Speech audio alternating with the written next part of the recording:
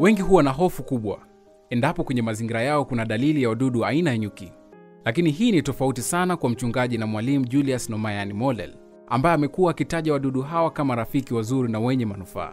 Hapa tumewaweka nyuki wadogo walioko kwenye mizinga, na nyuki wadogo ni wadudu rafiki sana kwenye mazingira. Moja ya uzuri wao hawang'ati, lakini ya pili wanakupa chakula pasi na wewe kutolea jasho.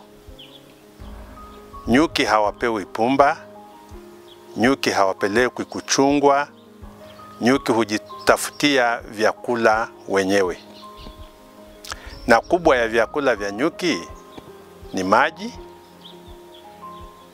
na maua. Na tunaposema nyuki hawa ni rafiki, ni kwa sababu ya utashi wao walionao.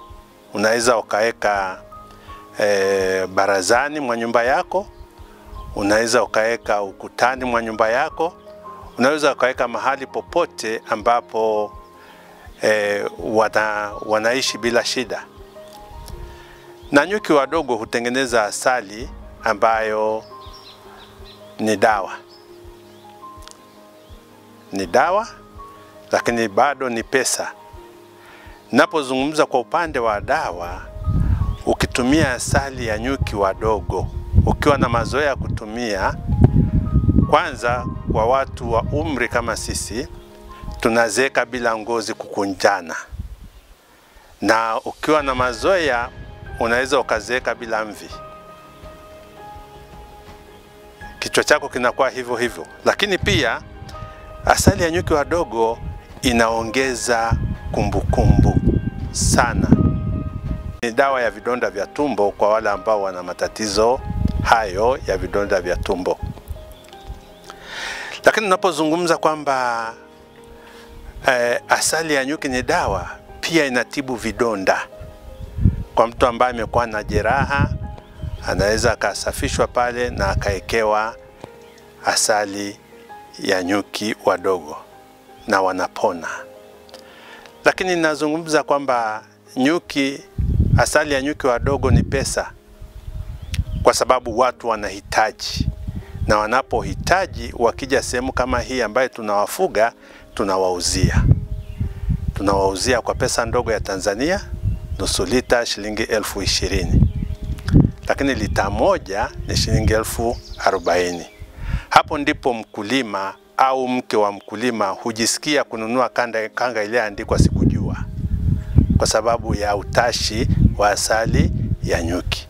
Hata wakati mwingine baba, naweza ukanunua kiatu kilichosema choma moyo, kwa sababu ya gharama ya pesa kutoka nyuki wadogo.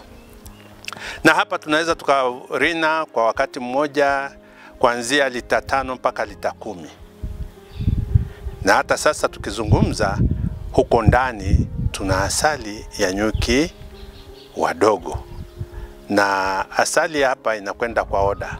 Wahitaji wanahitaji, wanaohitaji wanakuja, nahitaji asali, ndiyo tunayo, hatuna, tunawaandikisha kwenye daftari, ili tukivuna tunawapigia simu kwamba tumeshavuna asali, njooni mchukue, na wanachukua asali, wanatuachia fedha. Alaa, kumbe ni nyuki wadogo walio na thamani sana. Tunawezaje kuwatunza na kupata mazao makubwa? Na ni jambo la kushangaza sana jinsi wanavyoweza kujitengenezea chakula katika hali ya usafi ndani ya mzinga wao. Kwanza maandalizi, tujue kwa wazi kwamba nyuki wadogo hawaingii kwenye mizinga kamwe, hawaingii kwenye mizinga. Asili ya nyuki wadogo ni kwenye vichuguu, kwenye matobo ya miti, huko ndiko wanakoishi. Sasa inakuwaje tuwaweke kwenye mizinga? Wanalazimishwa.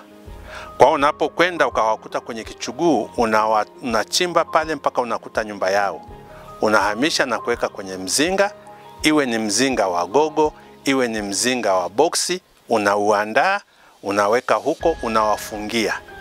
Watakaa huko wakitumia ndizi mbivu kwa siku tatu mpaka nne, unatoboa tobo lao lile la kutokea, wanaanza kutoka kwenda kujitafutia chakula.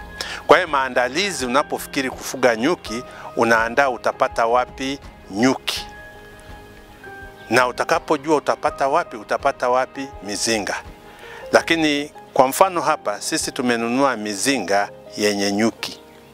Mzinga wa kwanza nimeusafirisha kutoka Tabora mpaka hapa, lakini mizinga mingine tumeweza kununua sehemu ya Meru wakiwa na nyuki, na mzinga mmoja wenye nyuki huuzwa laki moja na elfu hamsini na hapo watakuwepo nyuki kwenye mzinga walioishi kwa miezi miwili.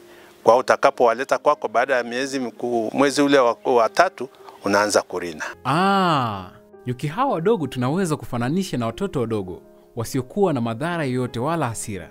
Mtaalam kwa hisia kabisa anaeleza vile ambavyo hawana hatia kabisa, lakini ni adui mkubwa sana kwa nyuki wakubwa. Kwa wadogo ni raha tupu, yaani ni raha tupu, yaani ni raha tupu, kwa sababu kwanza kukusogelea hakusogelei. Nzi anaweza akatua mwilini mwako, si ndio?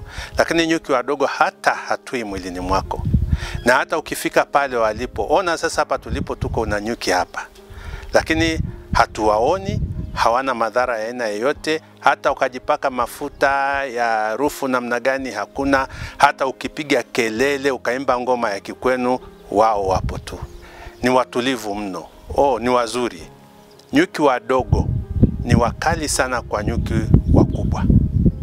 Akija nyuki mkubwa hapo, anaweza akapita pembezoni kuiba nta na akaondoka, lakini kupita kwenye lile tundu la nyuki wadogo hawezi, kwa sababu yule ni mkubwa, na tundu la nyuki wadogo ni ndogo sana, na ikitokea akapeleka pua pale, akishikwa na hawa wadogo anakufa, kwa sababu wadogo wanawaua sana nyuki wakubwa. Niseme kwa lugha nyingine, unaweza ukawa na nyuki wadogo na usiwaone nyuki wakubwa, kwa sababu vita yao ni kali sana. Wale wakubwa ni wakali kwa binadamu, lakini sio wakali kwa nyuki wadogo.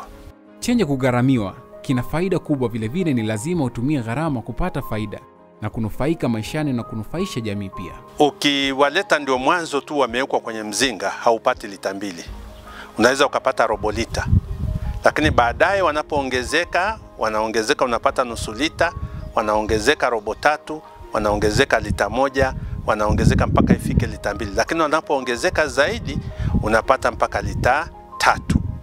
Lakini kwa nini uwache waongezeke zaidi wa kutolee lita tatu? Ni bora uwagawe, uwaweke kwenye mzinga mwingine, ili uweze kupata ongezeko ya mizinga na wingi wa chakula asali. Mtazamaji, Redasa TV ndio pekee inayoweza kukupa makala nzuri zenye kukuelimisha na kukuburudisha. Endelea kufuatilia na kwa mawasiliano tumia 0752 243585 kwa WhatsApp na ujumbe wa kawaida. Mimi ni Stefano Aminia. Bye bye.